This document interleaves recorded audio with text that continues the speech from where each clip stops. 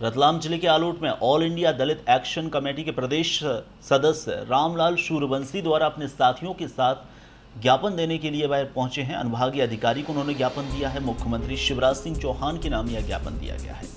जानकारी के मुताबिक हम आपको बता दें कि पूर्व में पत्रकार को जान से मारने की धमकी दी गई थी, जिसके चलते अभी तक उनके खिलाफ जब कार्रवाई नहीं होती है तो अलग अलग संगठनों ने ज्ञापन दिया है। वहीं रामलाल सूर्यवंशी ने मांग की है कि जल्द से जल्द कृषि अधिकारी के विरुद्ध प्रकरण दर्ज होना चाहिए, नहीं तो यहाँ पर उग्र आंदोलन किया जाएगा। वहीं किसानों की फ़सलों का नुकसान हुआ है, इसके चलते भी जल्द से जल्द सर्वे होना चाहिए और मुआवजा राशि किसानों को मिलनी चाहिए। हम अभी इस महीने दो बार ज्ञापन दे चुके हैं।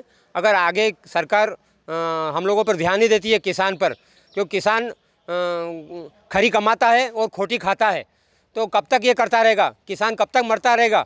अगर ये ध्यान नहीं दिया हम लोगों पर तो हम बड़ा ज्ञापन देंगे पूरा आलोर तहसील में इसको घेराव करेंगे और जल्दी से जल्दी सरकार को दिखा के बताएँगे कि हम किसान क्या चीज़ है। हमने ये मांग रखी है कि किसान एक तो कर्जा लेके दुकान से या दवाई खरीदने जाता है तो उसको नकली दवाई दी जाती है।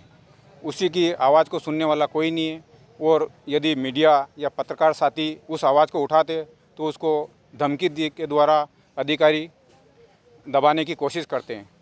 इस अन्याय के खिलाफ हमने एडीएम साहब को आज All India Dalit Action Committee के माध्यम से